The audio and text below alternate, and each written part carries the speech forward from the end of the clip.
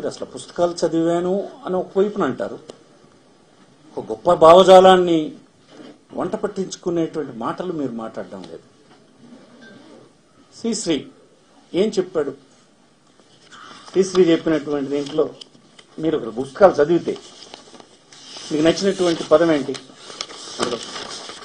ఏంటి మరి ఎవరైనా ఏ సామాన్యుడికైనా మన దీంట్లో శ్రీశ్రీని అతను ప్రస్తావన చేసిన దీంట్లో ఏమిటి అట్రాక్ట్ అవుతుంది? దేని గురించి అతను చెప్పాడు? పతితులారా భ్రష్టులారా బాధాసప్ప దృష్టులార ఏడవకండి ఏడవకండి. అంటే ఏంటది ఇది? సమాజంలో నలిగి నిస్పృహలో ఉన్నటువంటి ఆకలి కన్నీరుతో నలిగిపోతున్నటువంటి వర్గాలకు దృష్టిలో పెట్టుకుని ఆడినటువంటి మాట. ఏకం కండి. అడుగు కట్టండి. నిరుత్సాహపడకండి. మంచి రోజులు రానున్నాయి చెప్పే మాట. మీరు స్టడీ చేశారా జగన్మోహన్ రెడ్డి గారు ఆయన ప్రకటించిన పథకాలు అమలు చేస్తున్న పథకాలు మేము మా ప్రభుత్వం అమలు చేస్తున్న పథకాలు. ముఖ్యమంత్రి గారి ఆలోచన ఏంటది? ఆ పథకాలను మీరు ఒక్కసారి చూడండి. ఎవరికి చేరుతున్నాయో చూడండి. ఎగ్జాక్ట్లీ ఆ శ్రీశ్రీ గారు చెప్పినటువంటి వర్గాలు. గౌరవంగా చేరవేసే పని ఎవరినో అడుక్కోవడం కాదు. ఏ రాజకీయ పార్టీ వద్ద మోకరిల్లడం కాదు. ఒక కార్యకర్త వద్ద తల తలదించుకోవడం కాదు. గౌరవంగా అందించేటువంటి పద్ధతి. డైరెక్ట్ బ్యాంక్ ట్రాన్స్ఫర్ ద్వారా అందించేటువంటి పని ఈ వర్గాలకి అందించాం. మీరు ఆయన్ని విమర్శిస్తారు. ఆ పథకాలను విమర్శిస్తారు. ఈ పుస్తకాలు చదివానంటారు ఏంటి అసలు ఇది? ఎక్కడైనా పొంతనుందా దీనికి? మీరు స్టడీ చేయండి మీరు ఒకసారి మీరు మాట్లాడింది మళ్ళీ మీరు వినండి. ఆ పుస్తకాలు చదివితే వాళ్ళ భావజాలం ఏంటి? ఇలాంటి లక్ష్యాలు చేరుకోవడానికి ఒక పాలిటీషియన్గా ఒక రాజకీయ పార్టీ అధ్యక్షుడిగా ఎలా ఉండాలి? పుస్తకాలు చదివానంటారు. ఇక్కడేమో దానికి వ్యతిరేకంగా జరుగు దానికి వ్యతిరేకంగా మాట్లాడినట్టుగా అనిపిస్తుంటది. ఏమిటా ఆ- ఇదో నాకు అర్థం కాదు. అలాగే వంగపండు గారు.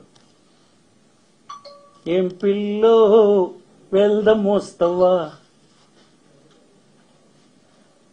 శ్రీకాకుళం కొండల పైనున్న గిరిలకు వెళ్దాం మోస్తావా ఏంట పాటలు అర్థం ఏంటి? చైతన్యం రగిల్చే ఒక కార్యక్రమానికి నడుం కట్టండి అని చెప్పేది. మనమేం చెప్తున్నాం? ఒకప్పుడు పేరు చెప్తావు. ఇక్కడేమో గుంటలందరూ అజ్ఞానంలో నెట్టే పని చేస్తాం. ఈ కార్యక్రమంకు మీరు మద్దతు ఇస్తున్నారు. మీరు సజెస్ట్ చేయండి రాజకీయ పార్టీకి మీరు ఉండండి. మీరు వద్దిల్లండి మాకేం అభ్యంతరం లేదు. ప్రజాస్వామ్యం ఈ హక్కు ఉంది. ఇంతకుముందు మీరు వచ్చారు ఉద్దానం ప్రాంతంకి వెళ్ళారు రాజకీయ పార్టీలో. నాలుగైదు సంవత్సరాల క్రితం. మీరు కొన్ని అంశాలు ప్రస్తావన చేస్తారు. గుడ్ కిడ్నీ బాధితుల అంశాలని మీరు చెప్పారు. చూసారా జగన్మోహన్ రెడ్డి గారు వెళ్ళారు. చూసి వచ్చారు ప్రజలు అధికారం ఇచ్చారు. ఏం చేశారో మీరు స్టడీ చేశారా? మర్చిపోయారు మీరు. శ్రీకాకుళం వచ్చినప్పుడు ఒక్క ప్రశంస. నేను ఆ రోజు చూసినటువంటి సమస్యను పరిష్కారం చేసావు బేష్. మళ్ళీ ఇప్పుడు చెప్పు ఇంకో సమస్య. ఆనాడు పత్రికల్లో వచ్చినటువంటి కిడ్నీ బాధితుల ఆక్రందనలు ఇవాళ ఉన్నాయా? ఒక శాశ్వతమైన పరిష్కారం ఒక టెంపరీ పరిష్కారం చికిత్స మూడిట్లకి అడ్రస్ చేశాడు. ప్రజా నాయకులు అంటే అట్లా ఉండాల. ఏదైనా ఈ పుస్తకాలు చదివినాను అంటే పుస్తకాలు చదివితే పుస్తకాల్లో ఉండే భావజాలాన్ని మన యాక్షన్స్లో ఉండాలి. దానికి వ్యతిరేకంగా మాట్లాడతారు. పుస్తకాలు చదివినా ఏ ప్రాంతానికి వెళ్తే ఆ ప్రాంతం నుండి మహానుభావుల పేర్లన్నీ చెప్పేస్తున్నారు.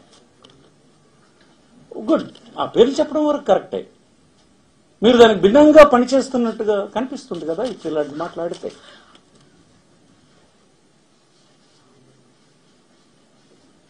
ప్రతిరోజు వచ్చినటువంటి ఉద్దానం ప్రాంత వార్త ఇప్పుడు వచ్చిందా? వంశధారలో సర్ఫేస్ వాటరే కిడ్నీస్ ఫెయిల్ అయిపోవడానికి కారణం అని అంటే సర్ఫేస్ వాటర్ కోసం ఎనిమిది వందల కోట్ల రూపాయలతో స్కీమ్ రన్ చేసి రేపో మాపో ఇంకొక మూడు నాలుగు మాసాల్లో స్విచ్ ఆన్ చేయబోతున్నాం. ఇంటింటికి నీరు ఇచ్చేస్తున్నాం. అంతవరకు వారు జీవించడానికి అవసరమైనటువంటి ఫైనాన్షియల్ సపోర్ట్ మధ్యవర్తి లేకుండా డైరెక్ట్గా ట్రాన్స్ఫర్ ఇస్తున్నాం. వారికి చికిత్స కోసం ఇతర ప్రాంతాలకు వెళ్ళకుండా పలాసలోనే ఒక హాస్పిటల్ నిర్మాణం మరొక నాలుగు నెలల్లో వంద కోట్లు పెట్టి ప్రారంభించడానికి సిద్ధం చేస్తున్నాం. ఇది ఎవరి ప్రయత్నం వల్ల జరిగింది? జగన్మోహన్ రెడ్డి వల్ల జరిగింది. మధ్యన ఇంకో ప్రభుత్వం వచ్చింది చేయగలుగుతారా? చేయలేకపోయారు. నేను అనేది ఏంటంటే ఇప్పుడు కూడా మీరు మళ్ళీ సజెస్ట్ చేయండి. ఇగో ఈ సమస్య ఈ ప్రాంతం ఉంది. ఈ ఈ సమస్యలు ఈ ప్రాంతంలో ఉన్నాయని చెప్పండి. ఇక్కడికే వస్తారు ఇక్కడ ప్రాంతానికి వ్యతిరేకంగా మళ్ళీ మాట్లాడుతున్నారు. ఏంటి నే- నేను అన్నదేంటి ఏమన్నాను నేను? ఆంధ్రప్రదేశ్ రాష్ట్రం విడిపోయినప్పుడు విడడానికి ముందుగా ఒక కమిటీని నియమించింది పార్లమెంటు కేంద్ర ప్రభుత్వం. ఆ శ్రీకృష్ణ కమిషన్ అధ్యయనంలో ఏం చెప్పారు?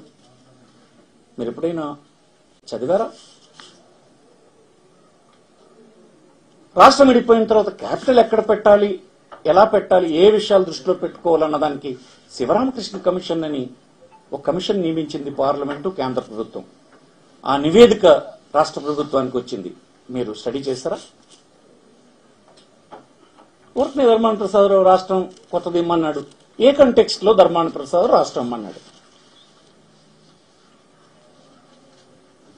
ఎందుకు ఇమ్మన్నాను అంటే అరవై ఐదు సంవత్సరాలు రాష్ట్ర ప్రజల వెనుకబడిన ప్రాంతాల ప్రజల నోరు నొక్కి ప్రభుత్వ ధనాన్నంతటిని హైదరాబాద్ని సరౌండింగ్ ప్లేస్ని అభివృద్ధి చేయడానికి నాటి ప్రభుత్వాలన్నీ పనిచేస్తే అరవై ఐదు సంవత్సరాల తర్వాత ఆ ప్రాంతాన్ని కట్టుబట్టలతో విడిచిపెట్టి రావాల్సి వచ్చింది. మళ్ళీ మరొకసారి అలాంటి కాన్సన్ట్రేటెడ్ అప్రోచ్ ఉండకూడదు అని శ్రీకృష్ణ గాని శివరామకృష్ణ కమిషన్ కానీ నివేదికలోనే పొందుపరిచారు. ఒక ప్రాంతం మళ్ళీ పెట్టుబడి పెట్టడం ఒక యాభై సంవత్సరాలు అందరి నోరు నొక్కి పెట్టుబడి పెడితే మరొక యాభై సంవత్సరాలు ఈ ప్రాంతాలన్నీ ఆ కనీసమైన సౌకర్యాలకు కూడా నోచుకోకుండా ఉండిపోతాయి అన్నది వారి ఉద్దేశం వాళ్ళే పెట్టరది దాన్ని వ్యతిరేకిస్తున్నాం. డీసెంట్రలైజ్డ్ అప్రోచ్ తీసుకోండి అని చెప్తున్నాయి. ప్రపంచం అంతా ఈ మోడల్ యాక్సెప్ట్ చేశారు. ఇంచుమించు ఇతర రాష్ట్రాలు కూడా ఇదే పద్ధతిని అనుసరిస్తున్నారు. ప్రజలందరూ కట్టినటువంటి పనులన్నీ తీసుకుపోయి అమరావతిలో పెట్టుబడి పెట్టి అమరావతిని అన్ని రంగాల్లో అభివృద్ధి చేసి చుట్టూన్న భూములన్నీ వ్యాపార దృక్పథంతో ముందే కొనేసి రియల్ ఎస్టేట్ వ్యాపారం చేసుకోవడానికి మీరు చేస్తానంటే మాకు అంగీ అంగీకారం కాదని చెప్పి ఈ ప్రాంత ప్రజల తరఫున నేను చెప్పాను. అందులో ఏం తప్పుంది?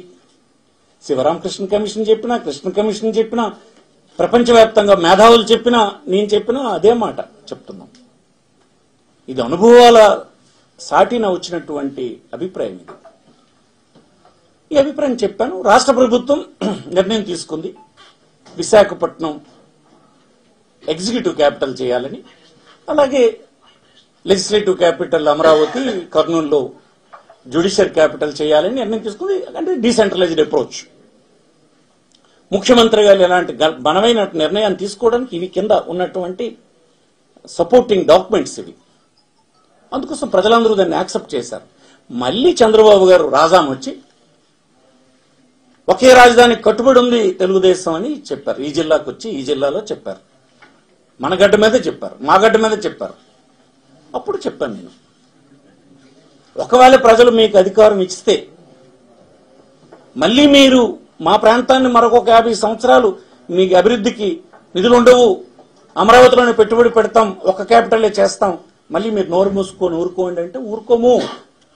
అలాంటప్పుడు మా నిధులన్నీ యాభై సంవత్సరాలు అక్కడ పెట్టేదానికంటే అంతకుముందు ఒక అరవై సంవత్సరాలు పెట్టే కంటే. ఇప్పుడు కనీసం ఈ యాభై సంవత్సరాలైనా అభివృద్ధి చెందడానికి మాకు ఒక క్యాపిటల్ ఇచ్చేయండి అని కేంద్ర ప్రభుత్వాన్ని రాష్ట్రంలో ఉండే మిగతా ప్రాంతాలని అడుగుతున్నాం. మీకు తెలుసా? ఈ రాష్ట్రంలో అత్యంత వెనుకబడిన జిల్లా జీవన ప్రమాణాలు కలిగినటువంటి జిల్లా శ్రీకాకుళం. ఇది ప్రతి ప్రతి పది సంవత్సరాలకి ప్రతి దశాబ్దానికి మళ్ళీ మళ్ళీ మళ్ళీ మళ్ళీ వస్తున్నటువంటి ర్యాంక్ అది. మీరు మా ప్రాంతంలో వచ్చి మమ్మల్ని వ్యతిరేకంగా మాట్లాడితే ఏంటి అది ఒక రాజకీయ పార్టీగా తగునా? మీకు అది